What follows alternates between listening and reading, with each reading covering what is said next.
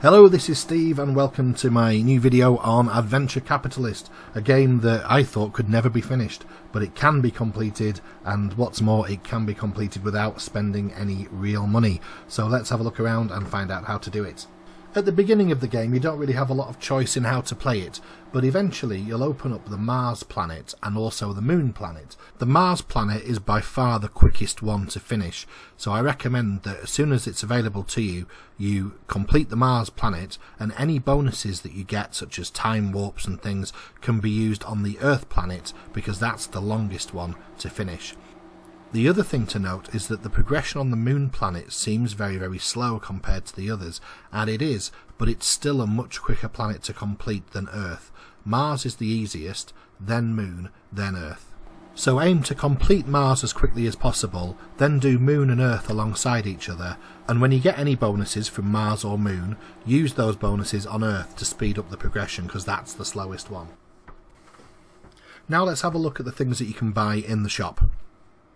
You'll notice that there's loads of things you can buy, including gold, which you'll spend real money on. But we're not going to spend real money, that would be crazy. So let's have a look what you can do with the 3, 4 and 5 gold pieces that the game offers you at random intervals throughout.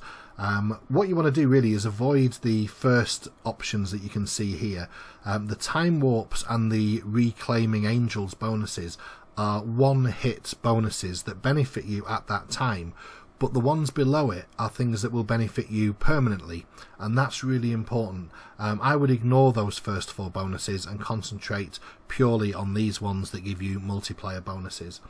Now, what's weird about the multiplier bonuses is that they don't work in the way you might expect.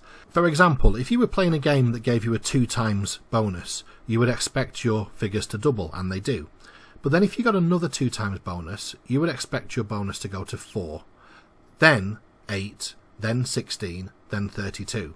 But Adventure Capitalist doesn't seem to work that way, and unless I'm very much mistaken, a 2 times bonus just adds 2 to any existing bonus. What this means is, instead of going 2, 4, 8, 16, 32, 64, it goes 2, 4, 6, 8, 10, 12, 14. That means that a 2 times bonus multiplier at the beginning of the game is making a much bigger impact than a 2 times bonus at the end of the game.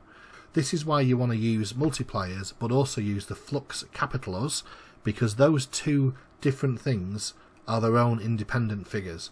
So your multiplier benefits you to some extent, but then the flux capitalator in conjunction with the multipliers makes a much bigger impact. The other multiplier that you can use adds to the bonus you get after watching an advert. You can see how the bonus that I'm getting after I watch an advert is 20 times, where it starts off at 2 times. So it's worth watching awful adverts like these because it really makes a massive impact, especially near the end of the game. The other thing that you want to be aware of is how the game sort of tricks you into clicking to buy upgrades.